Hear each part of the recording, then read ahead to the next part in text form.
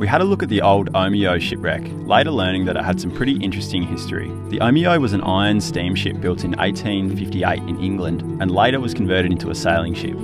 Something I find very interesting is that in 1881 it actually collided with and wrecked a pile lighthouse in Port Phillip, the waters that both myself and Mads spent a lot of time in with our work.